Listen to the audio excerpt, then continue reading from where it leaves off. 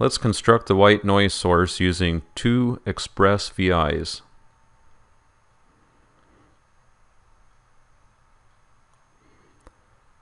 And I will begin with the signal source itself. Anytime you place an express VI, you get the configuration panel as your first view. Since I only want to generate noise, I'll select a DC signal and ensure that the offset is zero.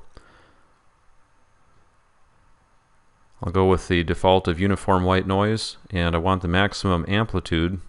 I'll set that to 1. Also want to go at the CD quality rate of 44.1 kilohertz. I want to generate a total uh, uh, total length of 10 seconds. So we take the samples per second, multiply that by 10, and that generates the total number of samples for 10 seconds. We can ignore this and say use anyways. Having generated the signal, we need to send that to the sound card.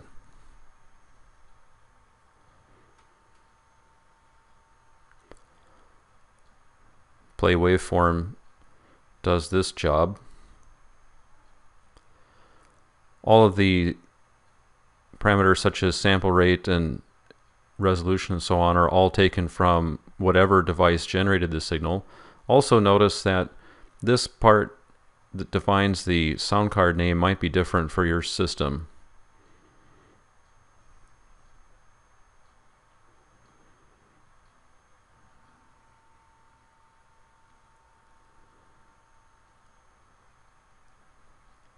Would also like to view the data signal that's being generated by the first Express VI.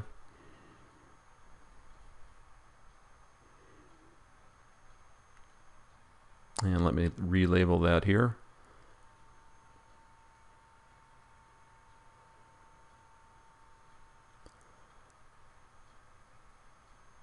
Back on the front panel, this looks like a waveform graph.